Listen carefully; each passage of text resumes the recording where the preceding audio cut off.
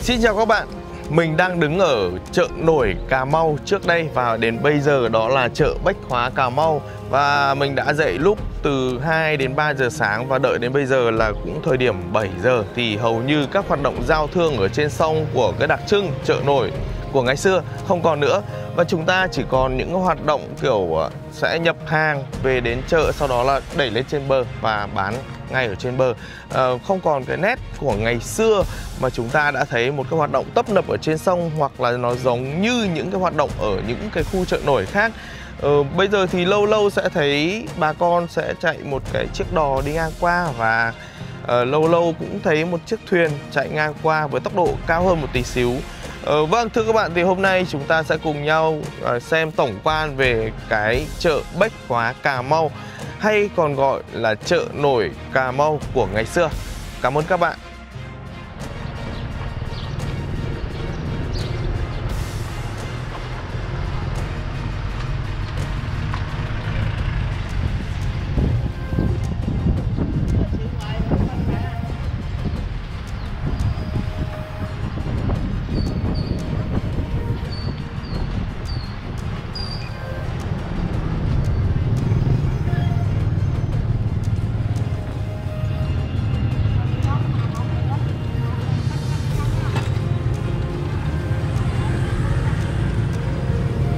Thưa các bạn, đây là không khí buổi sáng tại chợ Bách Hóa Cà Mau.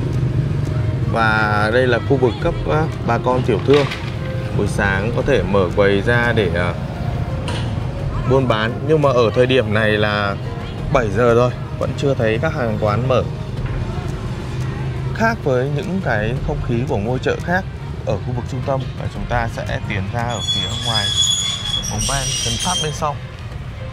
Thì có thể xem toàn cảnh ở đây.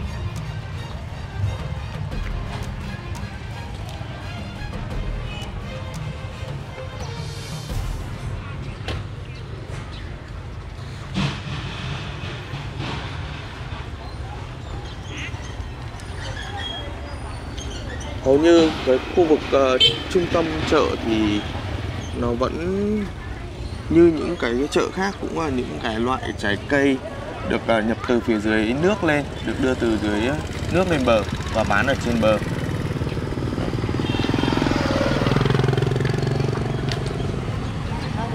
Đa số hàng rau củ quả.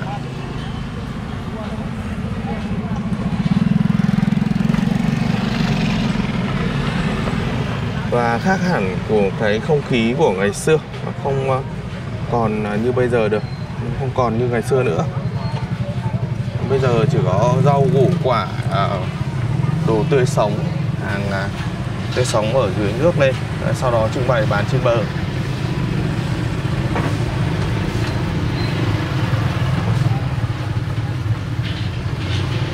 Từ bên này à, cũng là hàng bán đồ rau củ quả, gia cầm, gà vịt còn ở phía ngoài này thì à, các bạn có thể thấy là cái số lượng rau củ quả ở phía bên bên à, sông, phía bên bờ sông luôn các bạn. Bởi vì thì thực sự ra thì mình sẽ nói nho nhỏ và cũng hơi buồn một tí xíu vì cái không khí của chợ nổi ngày xưa nó không còn nữa. Đây, các bạn sẽ xem lại những hình ảnh của ngày xưa. Của một khu vực chợ nổi hoành tráng. Bây giờ chỉ còn loay ngoe vài cái thềm và một đống rác tưng bừng. Rác rất là nhiều. Đây, thuyền trên sông chủ yếu bà con sử dụng để giao thương, đi lại thôi. Còn lại không có buôn, hoạt động buôn bán ở trên thuyền. Mình cũng đã đợi từ 2 giờ sáng cho đến bây giờ cũng 7 giờ để à, muốn thưởng thức cái cảnh bà con. Hoạt động ở trên thuyền thì ờ, nó không có nữa. Đây, ở xung quanh này thì rau củ quả ở đây thì sẽ là cà chua. Cà chua và một số các loại củ như củ dền. Rau Thôi chúng ta sẽ đi bám sát bờ sông để xem bà con chúng ta buôn bán thế nào.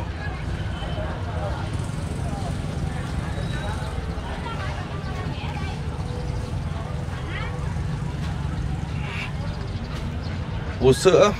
Chào cô. Vâng, cô bây giờ cái chợ nổi này không còn nữa hả cô? Hết rồi cô? Còn. Dạ. Cho nồi đấy rơi lại nữa đó. là rơi lại đây hả cô? Ờ. nhưng mà nó khác với ngày xưa ngày xưa nhìn nhộn nhịp hơn. kia đâu kia. dạ. Củ khoai. Rồi cảm ơn cô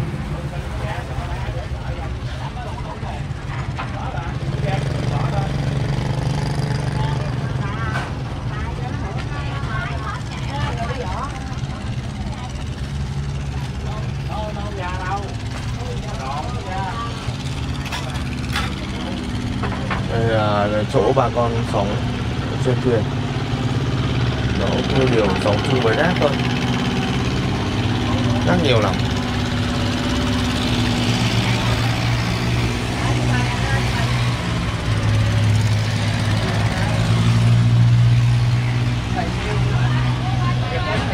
À, một số loại rau củ như là khoai, xoài. Khoai xoài với mận khoai ờ, sẽ được nhập về.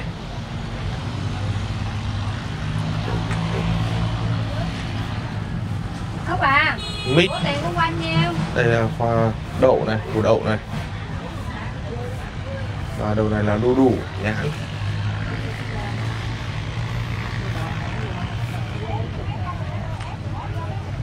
dừa. Đu đủ Quay phim đi kìa. Đấy. Ừ. bây giờ cái chợ nổi nó không còn nữa đúng không anh? Đầu kia à? Lên trên ngã năm sóc trăng. Ừ. chợ nói ngã bảy bây giờ không còn nữa. Bây giờ ờ, đi kiếm cái chỗ nào nó kiểu đặc trưng mà nó chợ nổi miền tây thì nó lại khó quá. Ngã năm. Buổi sáng.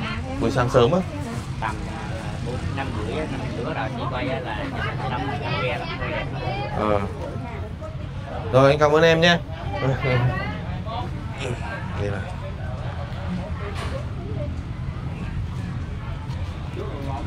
Đấy, chúng ta sẽ thấy một cái tổng quan từ à, khu vực chợ nổi Cà Mau. Và hầu như đây chính xác hơn là cái khu, khu vực uh, chợ Bách Hóa Cà Mau thì chính xác hơn. Bà con không uh, có buôn bán nhiều mà chỉ có những sinh hoạt vận chuyển.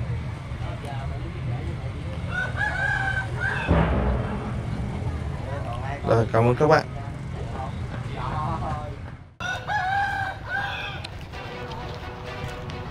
Hết chợ nổi rồi. đi về quay chợ nổi mà không còn chợ nổi. Nên là con từng nhà Em chả nổi gì, chả chìm, chả nổi gì, trời trời em đi. Gán xuống xuống ngã năm á. Ngã năm à? Năm ờ, sóc trăng đúng không ạ? Ờ, rồi. từ đây xuống đấy bao nhiêu cây ở em xem nào. Ngã năm á. Năm ghe đông đủ đông đủ lắm Năm ba bốn ở đây, ở đây nhận gì ta? nổi mà. Ông còn đi đồ đi rồi. Không có tiền nổi không, bữa đâu bán đồ á. Ờ, chị chìm, chị nổi gì đâu. em chạy trên đi về hướng Bắc Liên 70 cây, từ đây 70 cây. À đúng rồi Vương. bảy mươi cây sai trời sao nó chạy mấy hồi xe lớn mà là là là chỉ còn mỗi ngã năm thôi dữ lắm ghe. Cái Quay luôn á. cái răng không? cả răng thì em đi rồi Ờ, nó năm thì nó răng gì á? ừ, lớn hơn nữa ghe đó Đây, như thế. Nhỏ hơn mà cái ghe ít hơn cái năm ghe cái năm thì kẹo luôn này Nó tới có mấy triệu à.